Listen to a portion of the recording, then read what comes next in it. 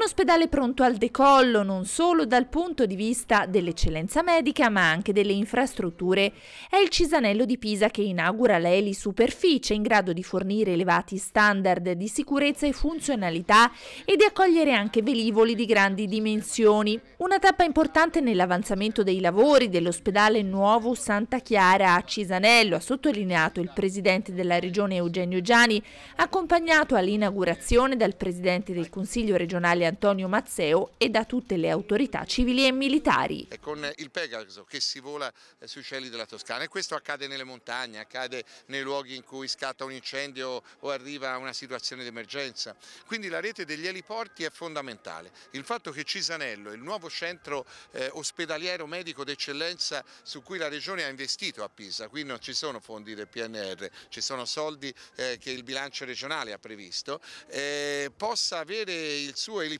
d'avanguardia ed eccellenza è qualcosa che rappresenta il segno che eh, Cisanello sta diventando un riferimento per la Toscana. Quindi protezione civile, emergenza del 118 da un punto di vista eh, sanitario, eh, possibilità di accesso a quello che sono le più alte cure e specializzazioni che Cisanello offre eh, su cui occorre intervenire da tutta Italia con emergenza, tutto questo è l'eliporto e io oggi sono contento perché nel momento in cui i giornali e le televisioni televisioni giustamente sono dominati da quello che è l'aspetto umanitario che riguarda l'Ucraina, ecco questo segno di speranza verso i diritti alla salute e i servizi per la salute del cittadino che rappresenta questo eliporto è una speranza per tutto il paese che viene dalla Toscana.